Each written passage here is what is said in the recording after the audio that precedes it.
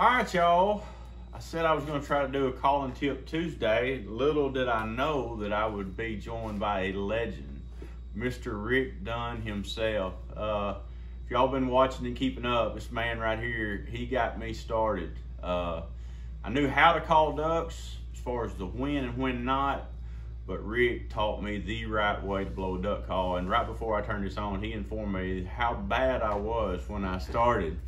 Um, we had a lot of fun early days on, on all the Echo DVDs, and, and I owe him so much. And I, I try to give credit where credit's due when people ask, and I owe this man right here a ton. Um, but uh, what about it, Rick?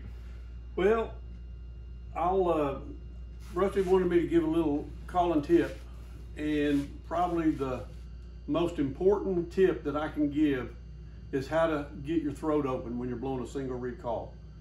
And a lot of people don't know exactly what it means to get your throat open, but it's actually blowing hot air like you fog a window into the call.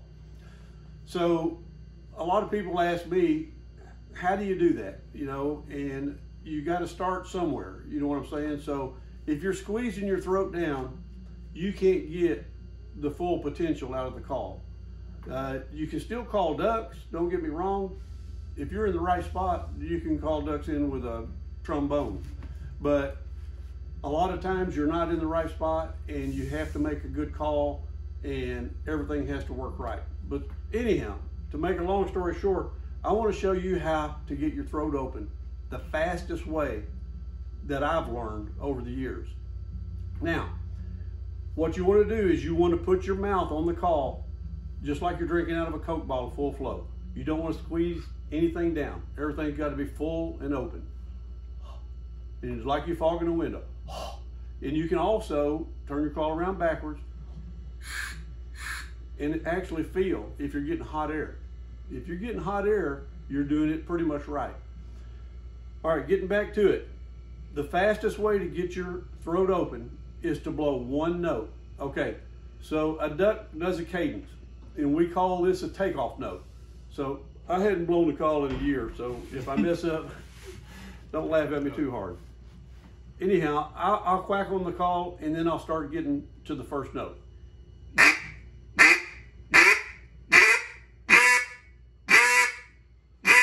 Okay, so that'd be the first note of a takeoff.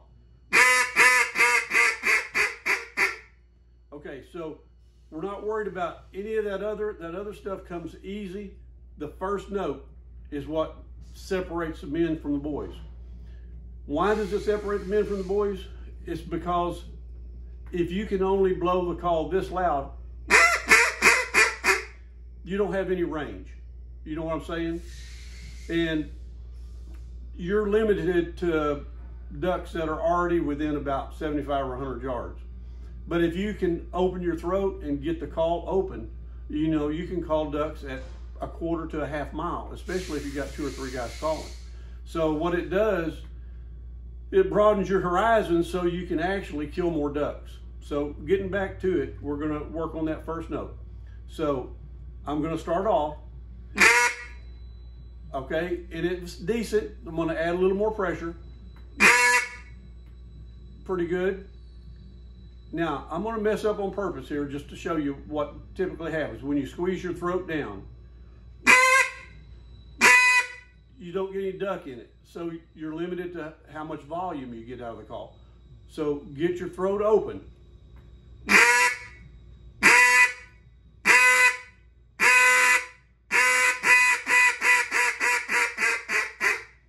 Practice on that first note over and over. What I tell people, practice on that first note only for 15 to 20 minutes at a time. And if you can get that first note, the other stuff, it just comes natural. That's right. That's a good one. That's a good tip. Now, was I really that bad? Uh,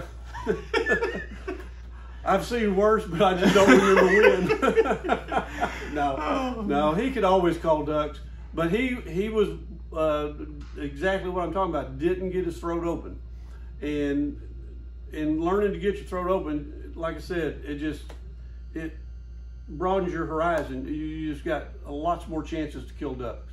Right. Well, guys, you heard it from the man himself. Blessed to call this guy one of my best friends and to have shared a tree with him many mornings. Thank you all for watching. Thanks, Rick. Thank you.